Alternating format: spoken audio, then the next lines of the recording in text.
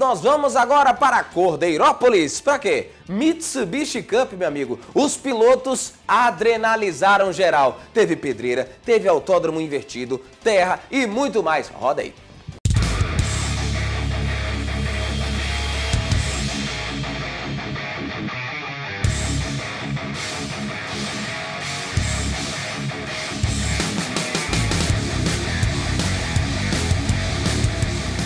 As duplas da Mitsubishi Cup voltaram a acelerar para a quarta etapa da temporada 2018. Altas temperaturas, piso fofo e um traçado extremamente técnico foram os destaques da prova que marcou a chegada na metade do campeonato.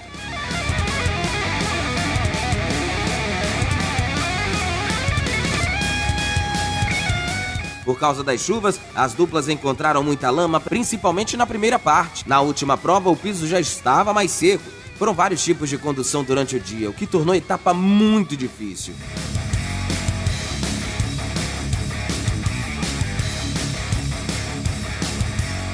Durante todo o sábado, os competidores das categorias ASX-RS, ASX-RS Master, L200 Triton ER, L200 Triton ER Master e L200 Triton Sport RS enfrentaram três provas bastante difíceis, totalizando 84 quilômetros.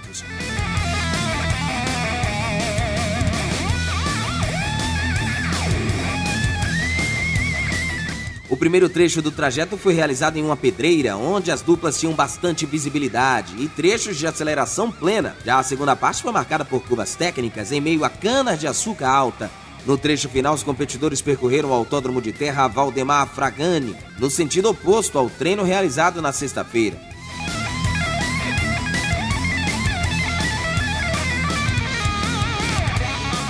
No final da etapa de Cordeirópolis, os melhores de cada categoria subiram ao pódio. Na SXRS, a dupla vencedora foi Flávio Pereira e Vinícius Marcon.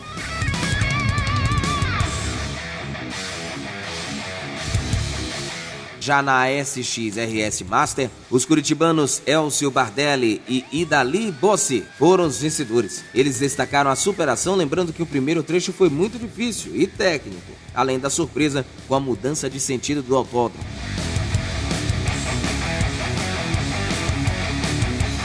A dupla que subiu no lugar mais alto do pódio na categoria L200 Triton ER foi Marcelo Fiuza e Josiane Coeric. Na prova, o carro se comportou muito bem, independente da situação do piso.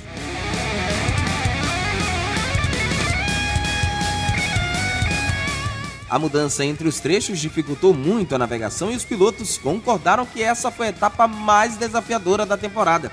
Os vencedores da categoria L200 Triton ER Master foram Juliano Jorge e Gunnar Dantes. Eles afirmaram que foi uma prova completa para todos os gostos e que eles foram consistentes durante o dia e voltaram para casa com a vitória.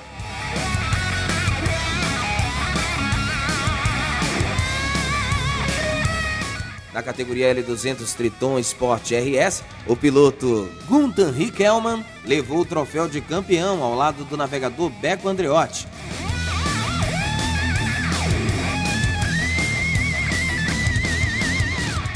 No dia 20 de outubro, a Mitsubishi Cup viaja até a cidade de Indaiatuba, interior paulista, onde os competidores enfrentarão uma etapa dupla e ainda uma prova noturna.